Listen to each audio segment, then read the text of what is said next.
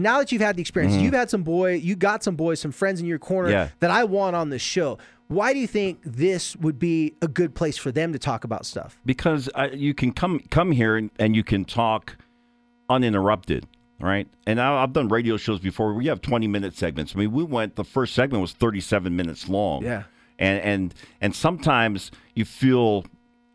For me as a broadcaster, I feel like I got to be concise. I can, you know, and Throws as off your opposed- mind. Yeah, as opposed to like we were talking for long enough where I forgot the mics were here. We're just talking. Yeah. you know, that's that's what you're Yeah. looking for is that type of organic experience.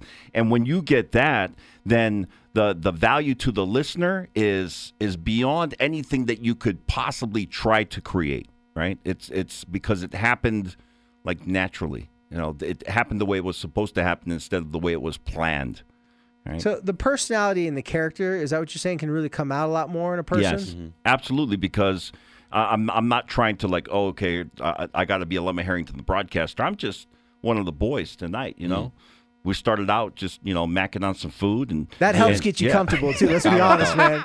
We have sushi Yeah. and Hawaiian food as our food Yeah. sponsors. I How wonder about why we that? picked those Yeah. companies. I have no idea why. That makes it right. Yeah. And and you know, I did did a little uh, research before I came, and I got onto the website, and and I'd already known from the experience with you where you where you were speaking, and the display that you had outside of of um what the place where you're speaking Yeah. at the University of Utah. I knew a little bit about Quit Trip'n.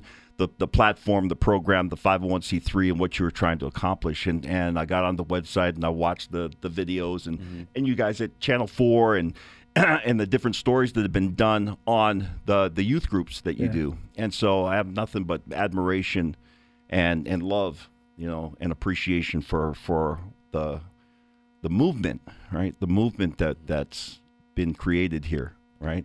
Well, Fa'afetai lava, Yeah. thank you very much because um, it means a lot. Um, you know, you've been around. You know, you've seen a lot of different places. You've mm. seen a lot of athletes. You've Yeah. seen a lot of I'm, people. I'm old, David. You can say it. No. like He's Hey. experienced. that's cool, dog. Hey, You hey, know? K Scott's always calling me out. Hey, when did you play at the U again? I said, man, I forget. Man. I forget, man, because he's It's like, crazy. in fact, I don't even bring up that I'm a former University of Utah football player. Like, you Like, played at the when? U? I'm like, yeah. They're like, when? They had leather helmets.